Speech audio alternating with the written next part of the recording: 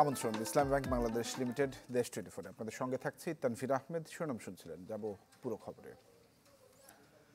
দুর্নীতির মামলায় বিএনপি নেতা ইকবাল হাসান মাহমুদ টুকুর নয় বছর এবং আমানুল্লাহ আমানের তেরো বছরের সাজা বহাল রেখেছেন হাইকোর্ট। এই নিয়ে ব্রিফ করছেন এই মুহূর্তে দুদকের আইনজীবী। আমরা সরাসরি যাচ্ছি সেখানে। সুপ্রিম কোর্ট রিমান্ডে পাঠিয়েছে দু হাজার চোদ্দ সনে। আজকে দু হাজার তেইশ সনের আপনার হলো তিরিশে মে এসে আমরা আপিলটি নিষ্পত্তি করতে পেরেছি। ও রায়ের অপারেটিভ পোর্শনটা হলো ইকবাল হাসান টুকুর ক্ষেত্রে ওনার যে রায় দিয়েছিল দু বছর সাজা সম্পদের তথ্য গোপন এবং জ্ঞাত আয় বহির্ভূত সম্পদের সাত বছর সেই রায়টা বহাল রেখেছেন বিচারিক আদালত। আর মিস্টার আমানুল্লাহ আমান এবং তার স্ত্রী সাফেরা আমান, ওনারা দুজন একই, একটাই আপিল করেছেন, সেই রায়টি বহাল রেখেছেন। আমানুল্লাহ আমানের দশ বছর এবং তিন বছর সাজা বহাল এবং ওনার স্ত্রী সাফেরা আমানের তিন বছর সাজা অ্যাজ এন অ্যাভেটমেন্ট সেটাও বহাল রেখেছেন। কাজে বিচারিক আদালতের সাজা ইন টোটো বহাল। ওনাদের বাকি হ্যাঁ? আত্মসমর্পণের নির্দেশ দিয়েছে। যেদিন আজকের রায়টি বিচারিক আদালত যেদিন গ্রহণ করবেন সেদিন থেকে দুই সপ্তাহের মধ্যে তাদেরকে বিচারিক আদালতে আত্মসমর্পণ করতে হবে। কাজেই সেই নির্দেশনা আজকে দিয়ে দিয়েছে। কারণ তারা অনেকে কিছু দূর কিছু হয়তো সাজা খেটেছেন বাকি সাজা খাটার জন্য তাদেরকে দুই সপ্তাহের মধ্যে আত্মসমর্পণের নির্দেশ দিয়েছে। আচ্ছা, এই রায় পাওয়ার পর যদি আত্মসমর্পণ না করে তাহলে কি হবে? না দেখুন রায়ে স্পষ্ট করে হাইকোর্ট ডিভিশন হলো আপিলেট কোর্ট। এটা আপিল আদালত হাইকোর্ট ডিভিশন রায় দিয়েছেন। এবং ওনা, উনি যদি ওনাকে ম্যান্ডেটরি এটা ওনাকে রায় যেদিন কোর্ট আদালত, বিচারিক আদালত রিসিভ করবে, সেদিন থেকে দু সপ্তাহের মধ্যে ওনাকে সারেন্ডার করতে হবে। সারেন্ডার যদি না করে, তাহলে ওনারা আইনের দৃষ্টিতে পলাতক হয়ে যাবে। কাজেই এখানে এটা ম্যান্ডেটরি ওনাদেরকে দুই সপ্তাহের মধ্যে বিচারিক আদালত যেদিন গ্রহণ করবে রায়, ওর মধ্যে আত্মসমর্পণ করতে হবে। দর্শক দুদক দুদকের আইনজীবী ব্রিফ করছিলেন, আমরা ছিলাম সরাসরি সেখানে। এবারে সিটি কর্পোরেশন নির্বাচনের খবর জানাব।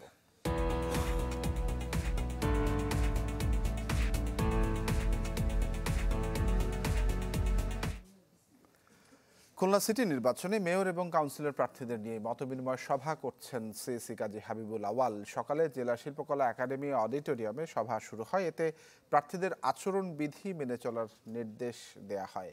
সভায় নির্বাচন কমিশনার আহসান হাবিব খান এবং নির্বাচন কমিশন সচিব জাহাঙ্গীর আলম সহ অনেকেই উপস্থিত ছিলেন।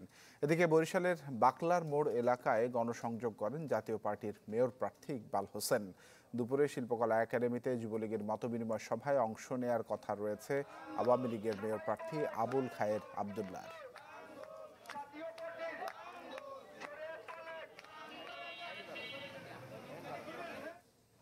দর্শক, আপনারা জানেন যে খুলনা এবং বরিশালে সিটি কর্পোরেশন নির্বাচন অনুষ্ঠিত হতে যাচ্ছে। আমরা সেই প্রচার প্রচারণা খবরাখবর জেনে নেব। খুলনা থেকে মামুন রাজা আমার সঙ্গে যুক্ত হয়েছেন এবং এবং বরিশাল থেকে আমার সঙ্গে যুক্ত হয়েছেন কাউসার হোসেন রানা। সিইসির বৈঠকটি চলছে। মামুন, আপনার কাছে জানতে চাই কি কি নির্দেশনা দিলেন?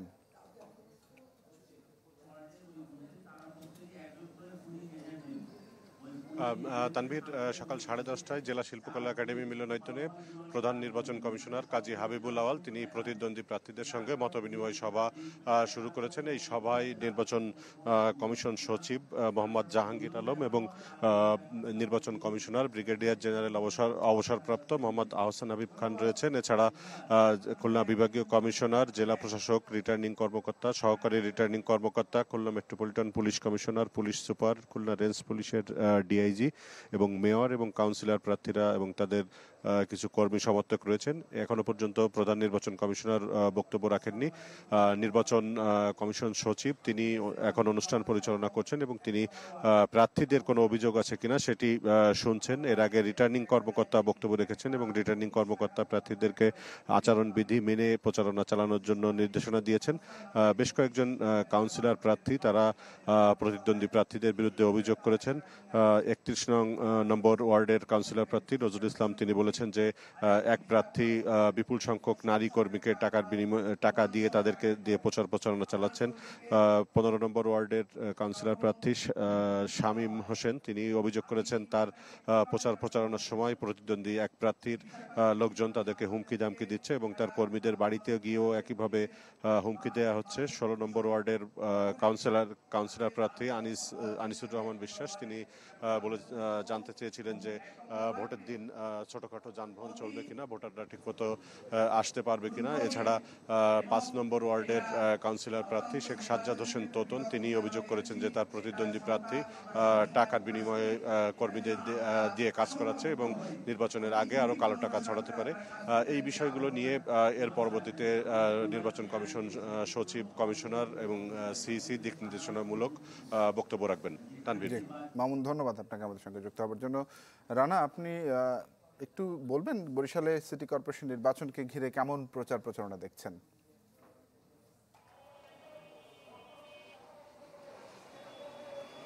হ্যাঁ তানভীর বরিশাল সিটি কর্পোরেশন নির্বাচনের জমজমাট প্রচার প্রচারণা চলছে বরিশালে এবং সেই প্রচার প্রচারণায় সকালে থেকেই নেমে যাচ্ছেন প্রার্থীরা এবং আজ সকালেও বরিশাল নগরীর বাকলার মোড় এলাকায় গণসংযোগ কার্যক্রম চালিয়েছেন জাতীয় পার্টির লাঙ্গলের লাঙ্গল প্রতীকের প্রার্থী ইকবাল হোসেন তিনি সেই বাকলার মোড় থেকে গণসংযোগ কার্যক্রম শুরু করে বাজার রোড হয়ে হাটখোলা এলাকায় গণসংযোগ পরিচালনা করেন।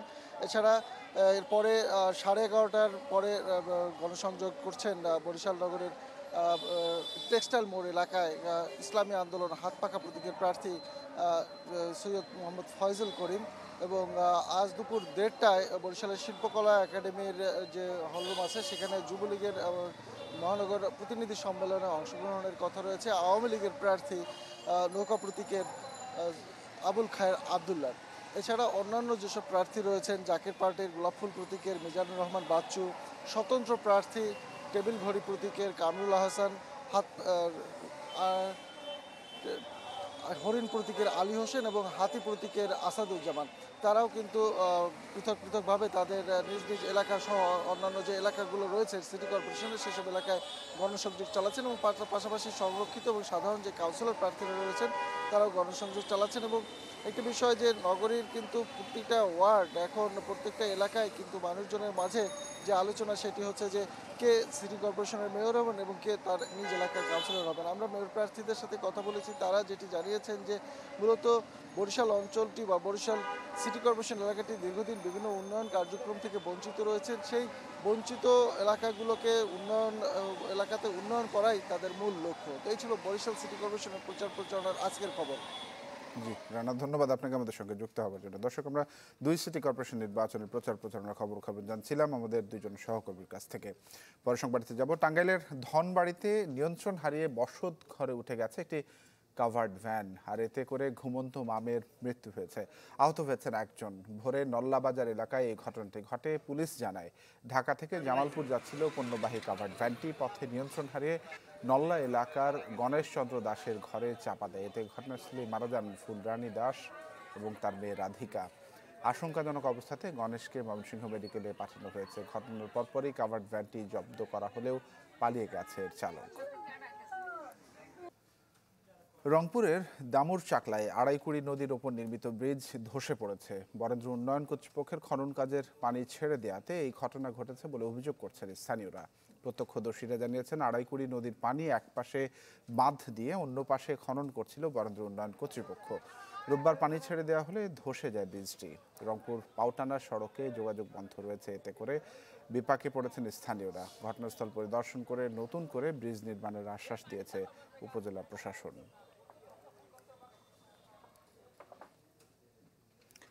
বছর বছর দুর্যোগে ক্ষতিগ্রস্ত হন সাতক্ষীরা উপকূলের মানুষজন। নদী কিংবা বেড়ি বাঁধ ভাঙনে নিঃস্ব হতে হয় বারবার।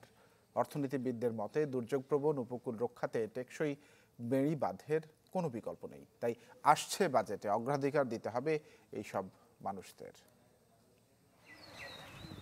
নদী ভাঙনে এক জীবনে রানী মণ্ডলের বসতভিটা ভেসে গেছে বহুবার। সাথে বেড়িবাঁধের ভাঙন তো আছেই। সাতক্ষীরার আশাশুনি উপজেলার ছবিটা এমনই। কোনো সময় খেয়েও দিন যেতে কোনো সময় না খেয়েও দিন যেতে এ শরীরের অবস্থায় সিডোরে এই উপকূলে যতটা না ক্ষতি হয়েছে তার চেয়ে বেশি প্রাণহানি ও জীবন জীবিকার উপর আঘাত হেনেছে আয়লা ও আমপান। সেই ক্ষত এখনও কাটেনি। তারপরে টেকসই বেড়িমাথের দাবি করেও লাভ হয়নি খুব একটা। ভাঙার আগের থেকে মাছ টাছ করতাম জাল টাল ধরতাম।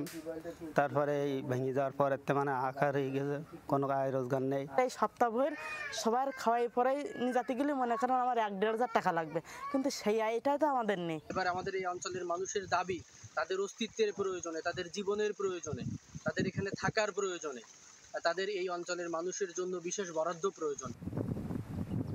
অর্থনীতিবিদ ও জেলা প্রশাসকের মতে দুর্যোগ প্রবণ উপকূল রক্ষায় টেকসই বেড়ি বাঁধের বিকল্প নেই।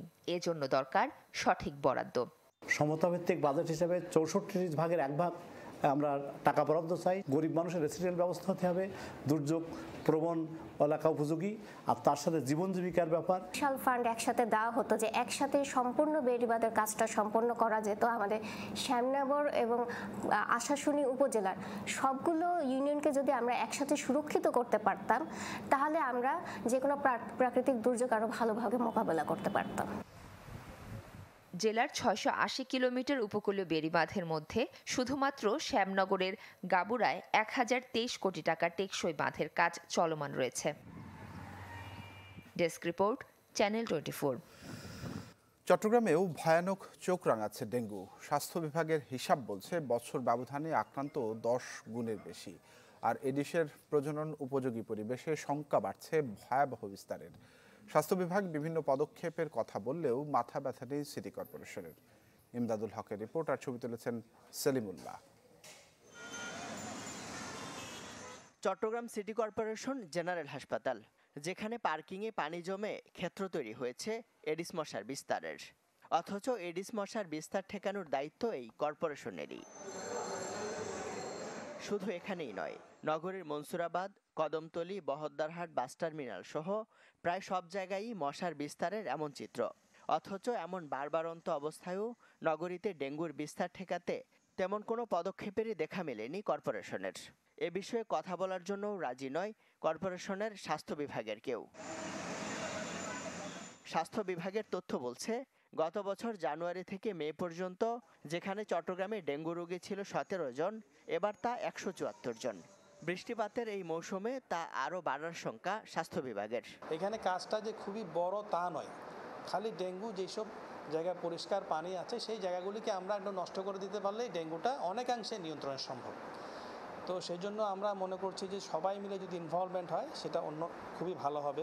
বিশেষজ্ঞ চিকিৎসকরা বলছেন থেমে থেমে বৃষ্টিপাতের এই সময় এডিস মশার প্রজননের সবচেয়ে উপযোগী পরিবেশ।